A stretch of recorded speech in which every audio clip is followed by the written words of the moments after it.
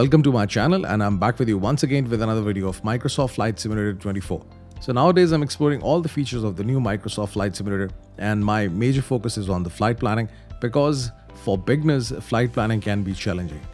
I have uh, some videos on my channel uh, in which I've explained the flight planning part.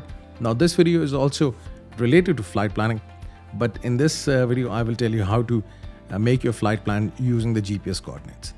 If you are flying the Fenix Simulations Airbus A320, you can also enter uh, the GPS coordinates in decimals. So um, this gives you a good control over your flight planning. You can fly to any point that you want if you have the GPS coordinates. So I will just explain it to you how to enter the decimal GPS coordinates over here in the electronic flight plan. The Microsoft Flight Simulator gives you a variety of flight planning uh, for beginners and for the experts. Beginners can use the built-in electronic flight bag, which can be used for many planes in the simulator. And if you're an expert level, then you can use SimBrief or SkyVector uh, for different flight planning. Today, I will be exploring Dubai. So I will just only add two points of interest and then I will make the flight plan. So I will be departing from Dubai, runway 30 right, or maybe I can select runway 30 left and then again I will be landing back in Dubai runway let's say 12 right. And let's do it like this.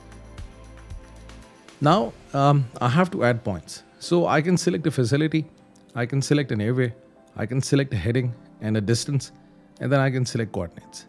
So if you click coordinates over here you can enter the GPS coordinates in decimals. Not in degrees minutes and seconds but rather in decimals now I'm going to tell you how to basically get those GPS coordinates from the Google Maps and then you can paste them over here. Uh, now I just want to bring your attention to one thing as you can see with the latitude it's asking you to enter either north or south and longitude west or east.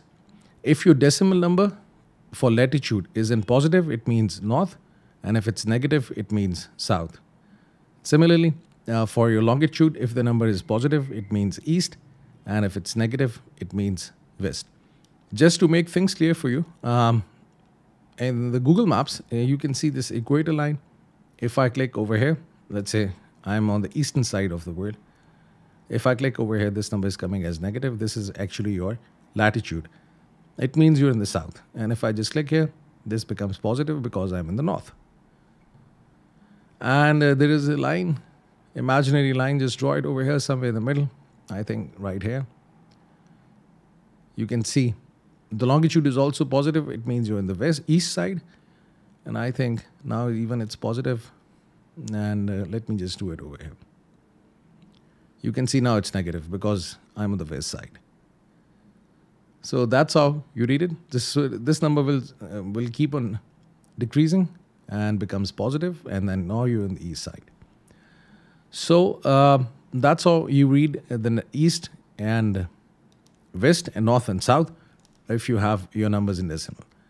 So it's really easy to pick it up. Uh, let's say I'm uh, doing a flight in Dubai. So I can just click anywhere and I can get the decimal coordinates. If I click this, it will be copied. What I can also do is this, that if I click over here I'll get this pin. And if I click this, I'll get the GPS coordinates and degrees, minutes, and seconds also, which will tell me my latitude is north and longitude is east. So obviously, if I'm flying in Dubai, anywhere over here in this part of the world, it will always be north and east because, you know, as I've explained it to you before. So in order to make things simple for you, I will also show you a table on the screen, which will tell you uh, that if your latitude is positive, you are in north. If it's negative, you are in the south. And if your longitude is um, positive, you're in the east. If it's negative, you are in the west. It's really simple. Now, what I'm going to do is this. I'm going to basically uh, use the Google Maps to get the coordinates and then map them over there in the Microsoft Flight Simulator. So I will be using this runway, 30 left, for the takeoff. And let's say I want to fly uh, near uh, Burj Khalifa over here, let's say over the Sheikh Zayed Road. So I'll click this and I'll copy the coordinates. Now I will go in Excel and paste them over there. So let's paste it over here. I've also um, given this table over here for your reference. If you get confused, you can always use it as a reference. Both numbers are positive. It means north and east. It's really simple. Now let's pick up another point. Now if I want to go to, let's say, Atlantis, fly over Atlantis and come back, I can also right click Atlantis and get these coordinates, copy them, and I can paste them over here. Now, uh, simply select this column E because you know these both of these coordinates um, for the latitude and for the longitude are in one column. We can just convert them into uh, two columns. Just select data and uh, do this text to columns.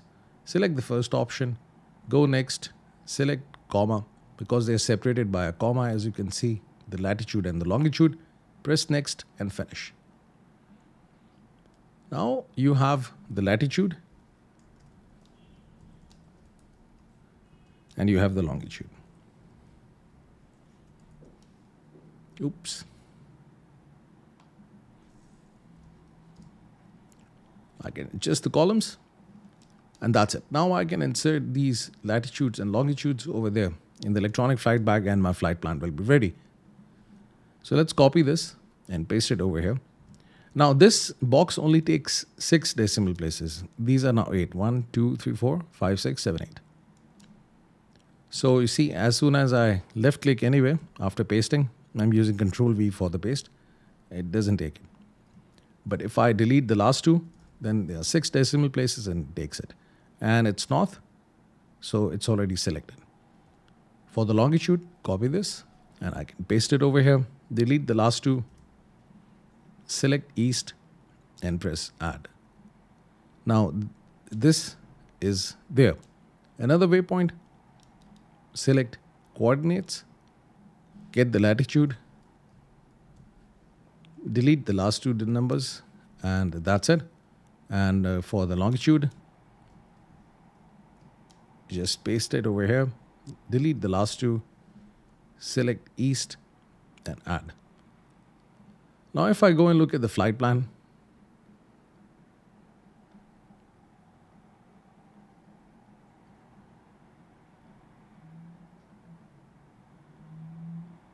So my flight plan is there.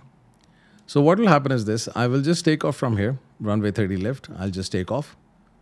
Then as I don't have a departure procedure, so I will go directly towards this point.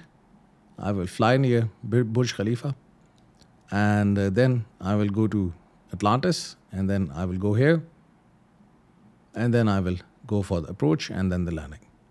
So this flight plan is now here. So with the help of the GPS coordinates, you can make these flight plans. I hope uh, I've been able to explain it to you, but still if you've got any questions, you can ask me in the comment section or if you want to add anything to this video, the comment section is there for you. Thank you very much for watching this video. Have a nice day. Hope to see you soon.